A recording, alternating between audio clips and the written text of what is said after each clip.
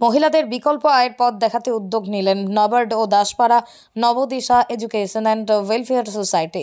বুধবার চোপড়ার লালবাজার এলাকায় আনুষ্ঠানিকভাবে মাশরুম চাষের প্রশিক্ষণ শিবির উদ্বোধন করা হয়।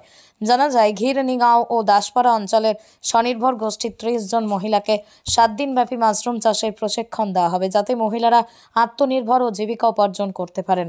সোসাইটির কর্ণধার আনিসুর রহমান জানান, গ্রামীণ মহিলাদেরকে উপার্জনমুখী করতে মাশরুম চাষের প্রশিক্ষণের উদ্যোগ নেওয়া হয়েছে।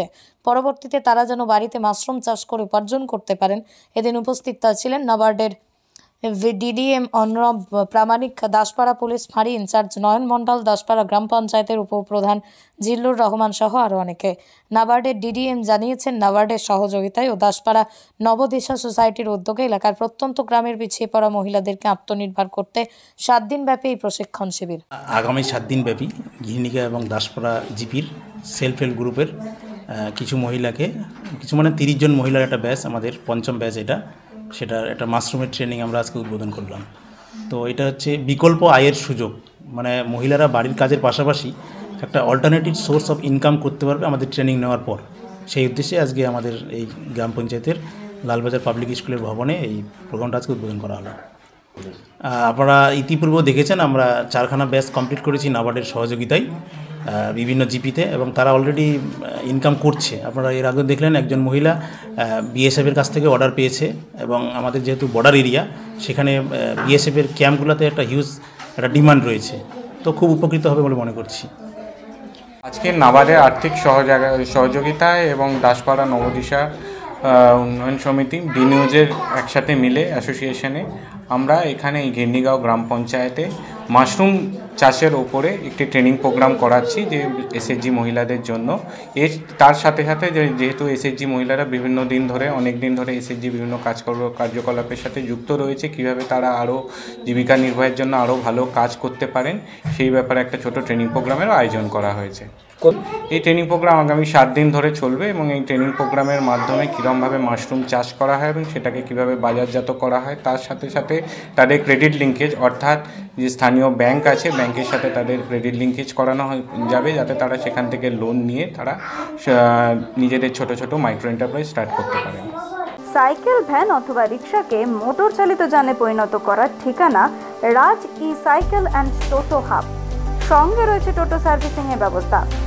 পাশাপাশি সুলভ মূল্যে পাওয়া যায় দা, বটি, কোদালের মতো বিভিন্ন লোহার প্রয়োজনীয় দ্রব্য। ঠিকানা সিটি বাজার, কাঁচাপাড়া।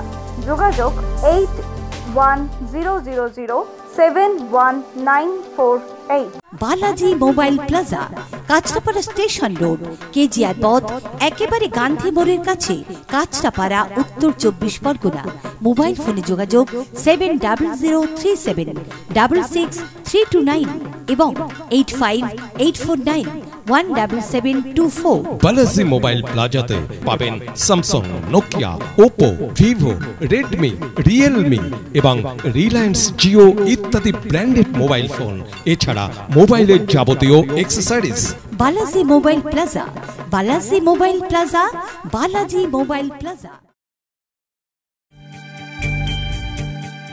কিরে তোদের হলো?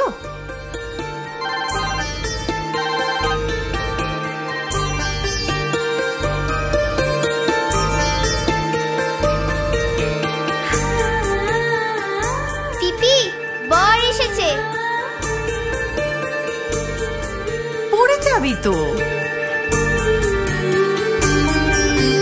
আমার বিয়ে, আমার বেনারসি।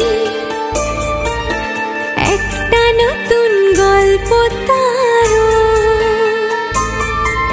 মন ছুঁয়েছে মনের মানুষ। স্বপ্ন যে আজ নতুন স্বপ্নে নতুন করে সেজ। বিমল শাড়ি সেন্টার কাঁচরাপাড়া।